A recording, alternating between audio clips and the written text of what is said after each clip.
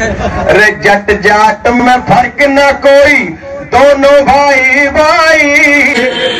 ਜੱਟ ਔਰ ਜਾਟ ਦੇ ਵਿੱਚ ਕੋਈ ਫ਼ਰਕ ਨਹੀਂਗਾ, ਸਿਰਫ ਹਿੰਦੀ ਦੇ ਵਿੱਚ ਮਾਤਰਾ ਲੱਗ ਜਾਂਦੀ ਹੈ।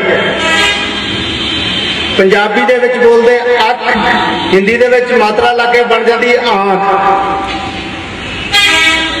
ਪੰਜਾਬੀ ਦੇ ਵਿੱਚ ਕਹਿੰਦੇ ਲੱਤ, ਹਿੰਦੀ ਦੇ ਵਿੱਚ ਮਾਤਰਾ ਲੱਗ ਕੇ ਬਣ ਜਾਂਦੀ ਲਾਤ। ਇਵੇਂ ਹੀ ਜੱਟ ਹਿੰਦੀ ਦੇ ਵਿੱਚ ਬਣ ਜਾਂਦਾ ਜਾਟ ਗੱਲ ਕੋਈ ਨਹੀਂ, ਫ਼ਰਕ ਕੋਈ ਨਹੀਂ, ਗੱਲ ਇੱਕ ਹੀ ਹੈ।